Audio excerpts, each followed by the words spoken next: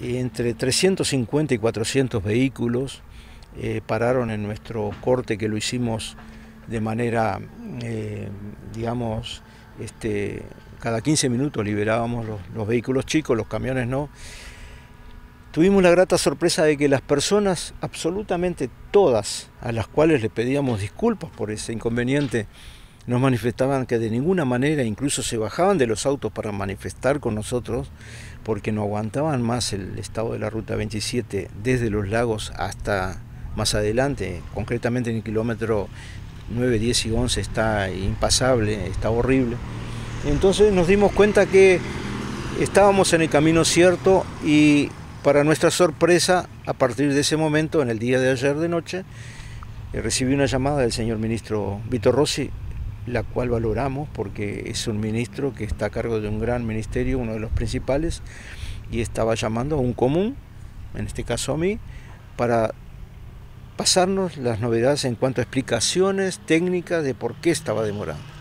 En realidad muchas de ellas eh, nos complacieron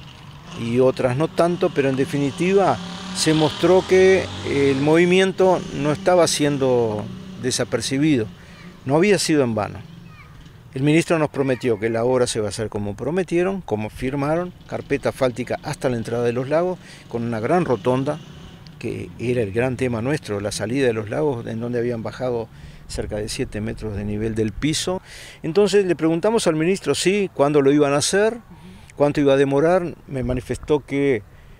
esa obra estaba planificada para 24 meses a 30 meses, a lo que yo le dije con todo respeto que los 24 meses estábamos muy cerquita de llegar a ello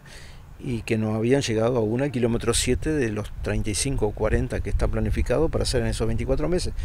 Y que felizmente hemos recibido una respuesta porque por increíble que parezca, hoy de mañana trasladaron una importante cantidad de máquinas hacia la rotonda de los lagos, la que está siendo ya preparada para, eh, supongo, el asfaltado. Y además la felicidad que hemos constatado de que están poniéndole la carpeta desde Rivera hacia los lagos y ya van